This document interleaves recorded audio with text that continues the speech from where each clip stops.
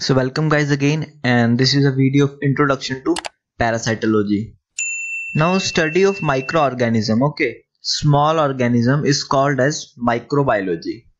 In the microbiology we have a certain term such as fungus then study of fungus is called mycology then bacteria study of bacteria called bacteriology then virus study of viruses called as virology then we have our main topics parasites. Study of parasite is called parasitology. Then we have a medical parasitology. So there is a difference between the simple parasitology and medical parasitology.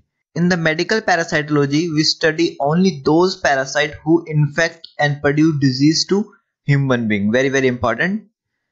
And about each parasite that cause infection to human being, we think we learn about certain thing about that, such as morphology there, life cycle there pathogenesis of parasite or symptom they cause to us then laboratory diagnosis treatment how they transmit from one person to another person then prevention of the disease. Now each parasite has two names. One genus name another is species name such as Entamoeba histolytica or Ascaris lumbricoides. So our genus name that is first one Entamoeba so you can see first letter is in capital letter okay? And this is here written initial capital letter okay? For the generic name and species name with small letter. And you can see the species histolytica name is small letter. Now we have a host parasite relationship. And in this we have a three common thing such as symbiosis in which both the partner get benefit from each other okay? Neither of the partner is getting harm.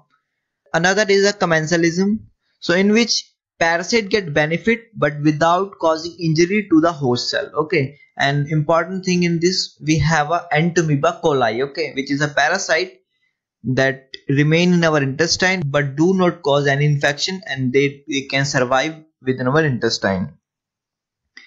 Another we have a parasitism and this is very important because in the medical parasitology we are studying this type of parasite okay? An association in which parasite benefit and host suffer from injury. Very very important. Now what is parasite? So it is an organism that depend upon another organism okay? And this another organism is called as host. In most of cases this host are we human being okay? And why they depend upon another organism for their survival? Now this parasite divided into two types one is microparasite another is macroparasite. So the microparasite is a small in nature and unicellular made up of only single cell like protozoa such as in case of histolytica I already post the video of histolytica you can see there is a only single cell okay? In case of Giardia lamblia we have a trophozoite like a racket shape. In case of macrocyte they are large in nature okay? Such as Ascaris lumbricoid we can see even 15 centimeter 30 centimeter okay? Because due to multicellular we human being are also multicellular. So in the macro parasite we have a helminthes okay? Now this helminthes divided into three types nematode cestode and trematode in case of nematode we have a cylindrical body. As you see like our finger which is cylindrical nature. Another important thing is nematode having a male another and female another okay we have a male nematode and female nematode and unsegmented. As you see in case of cestode we have a line in between the cell okay?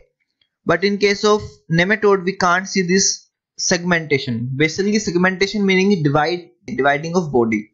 In case of nematode we have examples such as Ascaris lumbricoides then we have a whipworm hookworm. This is come under in nematodes. In case of cestode we having a tape like structure okay? Like we open our cello tape okay? So they are flat in nature. Another important thing for cestode is bisexual. So male and female organ or we can say sexual organ having in a single parasite. And the cestode is a segmented. You can see the segment in the parasite. Another we have a trematode. So they are leaf like structure. You can see bisexual except schistosomes. So bisexual mean containing both female and male sexual organ within a single parasite okay? But except from schistosome schistosomes are male schistosomes different and female schistosomes are different. And they are also unsegmented. So only the segmented one is cestode they are tape like structure. So very very important. Please remind this carefully. Now classification based on endoparasite and ectoparasite. Endo means inside so a parasite which live inside the body of host is called as endoparasite. And we have a protozoa that live inside our intestine and helminthes also live inside our intestine. Some of can live in blood or another organ okay?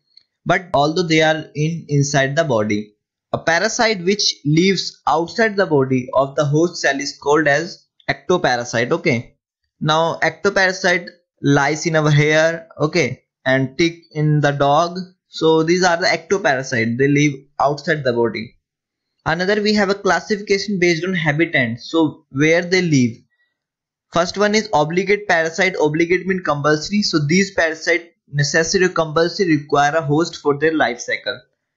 In case of facultative parasite so these are the parasite which may live outside the host or in case of opportunity they cannot also enter into the host so they can live both life free from parasite and within parasite. Another we have accidental host. So as the name suggests accidental. So they come by accident into the human body okay? Such as in case of echinococcus granulosus which is a uh, parasite of dog called as dog tapeworm. But children are very affection towards the dog so they get infection. These parasites called accidental parasites. Another we have aberrant parasite so these are the parasite they can attack the host but they cannot survive in the host or cannot develop further from larva to adult stage okay? Another we have a host. Very very important because we are the host for the parasite. An organism which provides stay to the parasite provide the nourishment and shelter to the parasite.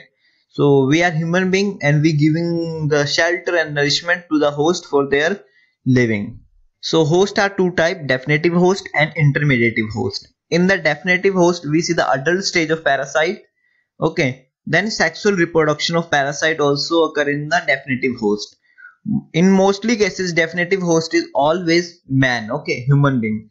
But few are exceptional cases where the female anopheles such as in case of mosquito it become a definitive host.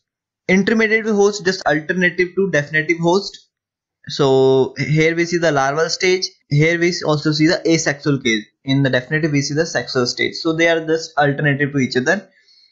And in the intermediate stage always the host is except from the man but the man is also intermediately host in few cases. Such as in case of malaria man is intermediately host and female anopheles is definitive host. Another we have a type of host. So vector such as a malaria is a act as vector host so they transport one person to another person plasmodium okay and cause a malaria infection. Culex mosquito also. And we have a paratenic host. So these are the host where the aberrant parasite enter okay. Because in this host larval stage of parasite survive but does not develop further okay. So larval to adult stage cannot develop in this paratenic host another we have a zoonosis as, as the name suggests. Zoo mean we get the infection from the animal okay? So they are the host who get infection from the animals. Such as in case of Taenia saginata and solium human can get infection from directly or indirectly from the pork or beef okay? In case of echinococcus granulosus a man get also infection from dog. So these come under zoonosis okay? Another we have a reservoir host so they are the hosts that reserve the parasite within and they can cause infection to directly to another person such as from male to female or, or vice versa during kissing sexual intercourse. Or even they get auto infection okay? While the uh, parasite in the body they get into inactive stage. And after some time they get inactive they get active and again infect to that host called as auto infection. Another we have a source of infection so we get infection from contaminated soil okay? If we eat a food that is contaminated with soil uh, we can get infections such as ascaris lumbricoides trichuris trichiura. So if we eat contaminated water that is contaminated with maybe fecal of an infected person so we can get Entamoeba histolytica giardia lamblia which cause diarrhea to us okay? Now by taking a raw undercooked beef of pork meat so we can get Taenia solium and Taenia saginata insect vector okay. So these are the vectors that cause malaria from mosquito and sandfly cause kala to us and some of the infection we can take also from pet animals such as dog and cat toxoplasma and echinococcus i already told you. Now mode of infection. Now how we get the infection okay. So we get the infection fecal oral route very very important thing because most of the parasite we get into our body by this fecal oral route okay? So oral transmission which is the part of fecal oral route common method for transmission okay? Because we eat food water mostly and we can affect with this parasite. Another is skin transmission okay? So in this we can get parasite by skin penetration such as in case of hookworm infection where where the larva enter into our skin if we walking on a contaminated soil another is vector transmission so many parasite disease that transmit by the bite of some insect such as malaria from the bite of female anopheles mosquito and filariasis by the bite of culex mosquito. Another we have a direct transmission. So parasitic infection may be transmitted by person to person by direct contact, kissing or by sexual intercourse. Especially the in case of sexual intercourse, we have seen commonly trichomoniasis, parasitic infection. Another we have a vertical transmission where the parasite goes from mother to fetus via placenta okay so malaria is very common and another we have a toxoplasmosis which is called as congenital toxoplasmosis iatrogenic transmission so iatrogenic basically if we take infection from the hospital parasitic infection from the hospital may be during surgery by the surgeon or anything but directly from the hospital called as iatrogenic transmission so type of life cycle, we have a direct life cycle and indirect life cycle. In case of direct life cycle, only one host is required for the further development of any parasite. That is called as direct and simple life because only one host needed. Now another is the indirect life cycle where we require more than one host. Okay. One is final host, another is intermediate host. Final host also called as definitive host. We also call this complex life cycle because we need two hosts Another is pathogenesis. When the parasite enter into our body, our body make antibody against them and which will lead to cause some redness or we also say allergic reaction to our body and some case in some cases such as in hookworm infection when the parasite take entry from our bare foot so we can see some bleeding and finally trauma so these are some pathogenesis another we have a laboratory diagnosis so in the laboratory diagnosis we diagnose with either microscopically or macroscopically. Macroscopically mean with the naked eyes or microscopically with microscope. Okay. First one is blood. So we can make a blood film to diagnose such as Plasmodium vivax species and Wuchereria bancrofti. Another we can also examine stool. We can examine stool with macroscopically to identify whether the stool texture is what type okay smell of stool okay and whether the stool containing blood or not mucus maybe fat or not so these are some clue that help to diagnose a parasite we can also directly see the ascaris lumbricoid adult worm okay which may be 15 centimeter 30 centimeter so we can also examine ascaris lumbricoids in the stool while in microscopically we can uh, make a smear of the our stool and we can see the cyst of Entamoeba histolytica and Giardia lamblia also we can see the freshly passed stool trophozoite stage also. We can also see the egg of Ascaris lumbricoid under the microscope. Another we have an immunodiagnostic method. So immunodiagnostic method include antigen antibody detection. Okay, whether we have to identify antigen just such as in case of plasmodium we can identify the antigen with the help of antibody and the antigen is histidine rich protein 2 okay Plasmodium lactate dehydrogenase also we can identify as antigen with the help of antibody and vice versa we can also identify antibody because when parasite enter into the human body human body make antibody against them. So we have to identify that antibody with the help of non-antigen. And this is come under immunodiagnostic method. Another we have an intradermal skin skin test. So in case of Casoni reaction we can use this intradermal skin test to identify. Another we have a culture method. We can also culture our parasite inside lab such as in case of acanthamoeba in some cases we also inoculate our our parasite inside the animal to identify whether the parasite is present or not such as in case of toxoplasma. We can also use some radiological technique x-ray ultrasonography ct scan this come under radiography.